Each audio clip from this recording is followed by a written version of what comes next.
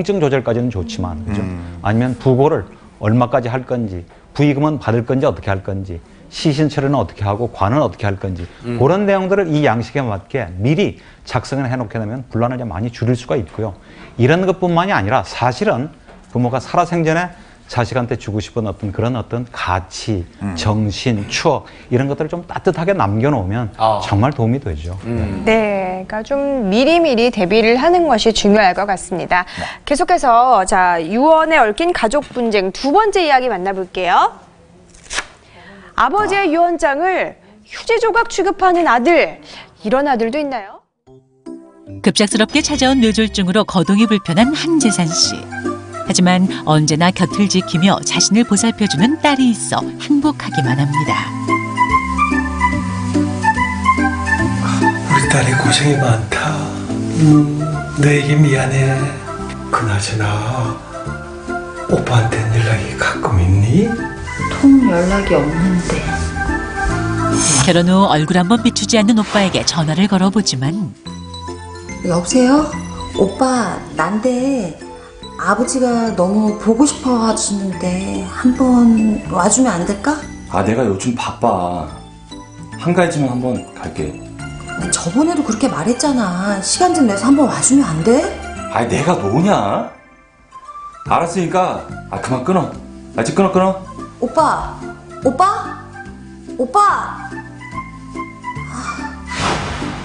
아들과 달리 자신의 곁을 지키는 딸을 볼 때면 짐이 되는 것 같아 늘 미안한 마음뿐입니다.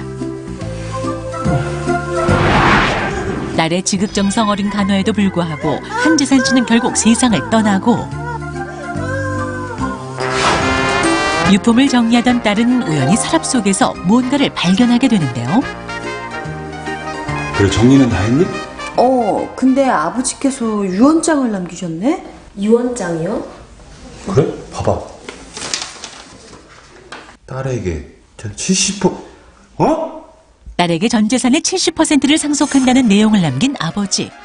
아 이건 말도 안 돼 이건 무효야 무효 무슨 소리 하는 거야? 그리고 오빠가 아버지 살아계실 때한게 뭐가 있다 그래? 아가씨, 무슨 말을 그렇게 해요? 이 사람도 바쁘니까 그런 거지. 이거 유언장이라 해도 공증도 하나도 없고 이건 무효야 무효 맞아, 무효야, 무효. 아 진짜 아버지가 직접 작성한 유언장이지만 법적 효력이 없다고 우기는 아들. 정말 법적 효력이 없는 걸까요? 올케 정말 밉죠. 어, 얄미워요. 승질이 나는데요. 자, 지금 저희 아버님이 유언장 작성을 하셨습니다.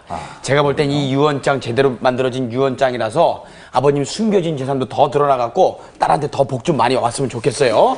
자, 우리 아버님의 유언장을 공개를 했습니다. 보시죠. 유언장 한 재산 이름 적었고요. 그 저기 주민등록번호까지 정확하게 적었고요. 내가 가장 사랑하는 우리 딸 그동안 못난 아빠 때문에 하고 싶은 것도 못하고 제 지낸 너를 보면서 정말 가슴이 아팠단다. 얼마 안 되지만 너에게 내 재산의 70%를 남기고 싶구나. 딸아 고맙다. 본인 한 재산은 딸에게 재산의 70%를 상속한다. 날짜 2013년 9월 15일 한 재산 정확하게. 자, 이 정도면 딸한테 복이 가는 거죠. 되는 거죠. 70% 가야죠. 돼야죠. 네. 자, 요새 자필 유언 굉장히 관심들이 많아, 많으시거든요. 자세히 한번 보겠습니다. 네. 자, 전체가 저렇게 처음부터 끝까지 자필로 작성이 돼야 되고요. 네. 자, 이름 자필. 있고, 네. 네. 중간에 있는 내용은 재산에, 의- 재산에 대한 내용이기 때문에 유언의 효력이 있습니다. 음. 그리고 마지막에 보면은 날짜도 되어 있고요. 날짜 이렇게 되어 있고요. 네, 되어 있습니다.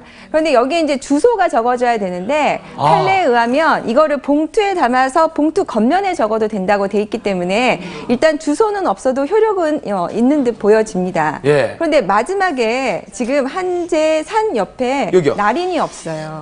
아, 도장. 도장? 네, 도장이 없어요. 어머. 네. 아. 이게 얼마 전에 굉장히 유명한 사건이었는데 예. 몇- 몇백억 대 자산가가 자녀 결혼을 안 해서 자녀가 없는 거예요. 그래서 이 재산을 대학에 기부를 하겠다고 자필 위원을 써놓고 돌아가셔서 은행에서 이제 금고에 그게 발견이 됐습니다. 예.